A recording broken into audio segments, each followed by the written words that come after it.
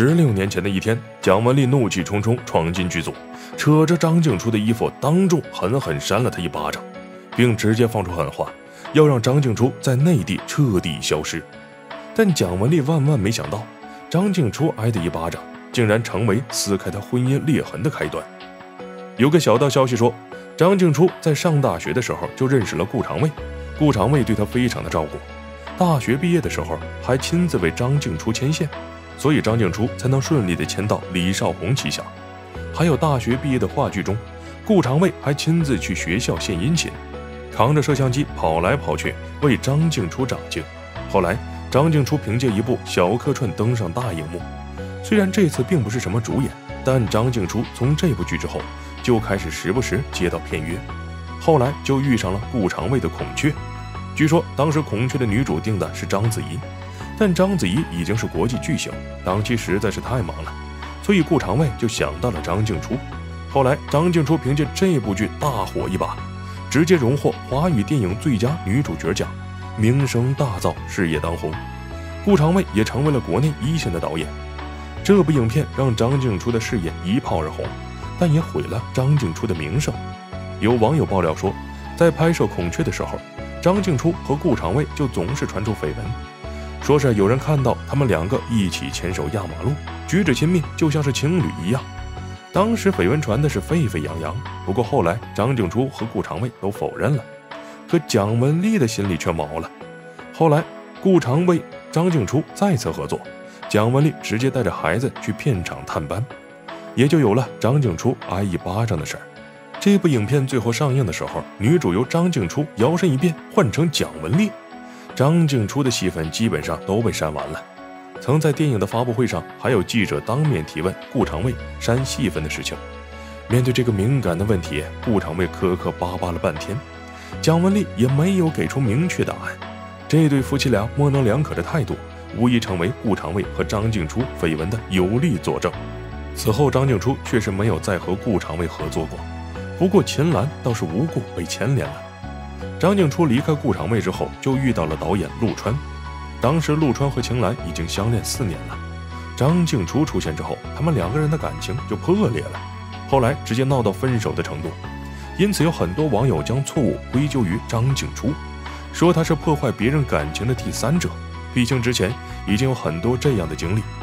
可是面对这样的负面消息，秦岚回应说：“感情是两个人之间的事情，与第三人没有任何关系。”继秦岚之后，可就没人对张静初这么宽容了。张静初和冯小刚导演相识，还传出了一些不太好的小道消息。偏偏好好巧不巧的，张静初和冯小刚妻子徐帆共同演出《唐山大地震》，两人在影片中饰演母女，所以两人又结下了梁子。其实单纯看张静初的演技是非常出色的，每一次在影片中都给观众带来精彩的表现。将角色的一颦一笑都演绎得淋漓尽致，但就是绯闻消息太多，影响了张静初的发展。如果没有这些舆论传闻，相比张静初早就已经成为章子怡那样的国际巨星了。其实想想也能够理解，毕竟没有哪一个有家室的女人喜欢自己的丈夫在外面有流言蜚语，就算是子虚乌有的事情，也扛不住流言的压力呀。俗话说，一人一口唾沫星子也能淹死人。张静初的事情结束之后，顾长卫和蒋雯丽多年的恩爱婚姻也有了裂痕。二零零九年的时候，顾长卫深陷丑闻之中，有记者清楚地拍到了顾长卫的证据，可他还是不肯承认。这则丑闻到现在还是娱乐圈的一个谜。当时蒋雯丽的反应也让无数人不解。按常理来说，男生做出对不起家庭的事情，女人是一定要离婚的，分道扬镳，各自安好。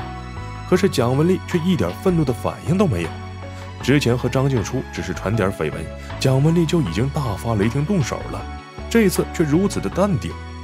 两人一起出席公共活动的时候，依旧是恩爱夫妻的模样，脸上挂着幸福的笑容。但网上经常传出两人婚变的消息，还有网友爆料说，两人的婚姻早已名存实亡，可能就是碍于公众形象，所以一直不愿意离婚罢了。后来很长的一段时间内，顾长卫再没有爆出什么绯闻。没想到，隐忍一千四百零六天的蒋雯丽却突然放出大招。蒋雯丽和比自己小十九岁的黄轩传出绯闻，她和顾长卫的表面恩爱再次被佐证。不过搞笑的是，顾长卫当时还站出来力挺蒋雯丽，帮他澄清和黄轩的绯闻。这次风波平息后，两人依旧过着恩爱幸福的婚姻生活。其实，顾长卫和蒋雯丽这段劣迹斑斑的婚姻一开始就不受到祝福。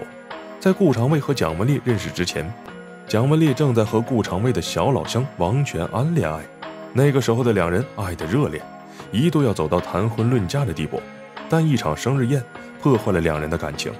当时张艺谋和陈凯歌导演已经颇有名气，同时也有了陪伴自己的红颜知己，就想着帮小弟顾长卫找个女朋友，所以就组织了一场生日会，请来了很多演艺圈的小学妹。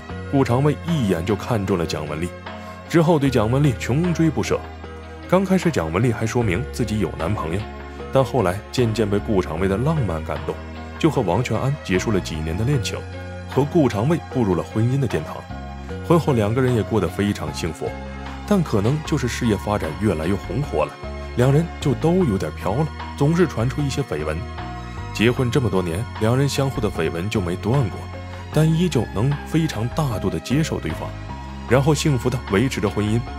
有很多网友疑惑，两个人都已经貌合神离了，为什么还要硬绑在一起呢？说他们两个之间还有离不开的爱情。这话恐怕没人会相信吧？有圈内知情人爆料说，顾长卫最近几年的事业一直不怎么顺利，反而是蒋雯丽在家里占据主导地位，并且夫妻俩共同控股的首映时代，如果在商业上一番运转的话，蒋雯丽的身家可能就上亿了。所以夫妻两个是不会离婚的。蒋雯丽、顾长卫的婚姻到底是有着什么利益牵扯，还是两人另有隐情呢？我们这些外人就不得而知了。观众朋友们对此有什么想说的呢？欢迎在评论区留言讨论，我们下期再见吧。